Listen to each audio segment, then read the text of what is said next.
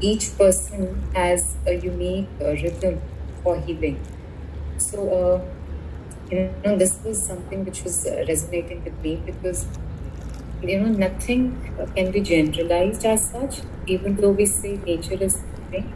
The more we are connected, the more our body, because we are made of the five elements, and the more we are in sync, we, uh, we heal faster, we, we are more in harmony also And uh, but nonetheless, each person will have their own rhythm. That's something which has resonated with me.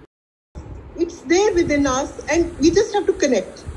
So the beauty that I felt was restored was दोबारा जीवित होगी मेरे अंदर की वो that was just relax and enjoy your life.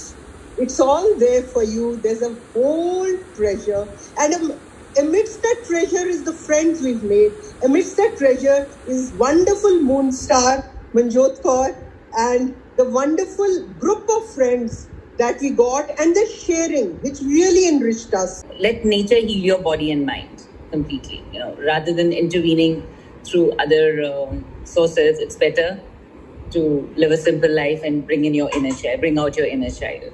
This is the major takeaway, I would say.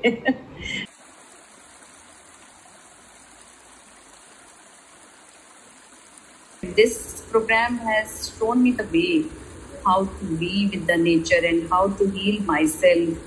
And you know i have uh, i've missed all this all these years. Now i feel that uh, this is actually life. Like uh, i mean uh, that was okay that we were earning our living but somewhere we had disconnected ourselves with the nature mool we were not connected to mool so nature is, I think, moon, our moon, and we are part of nature.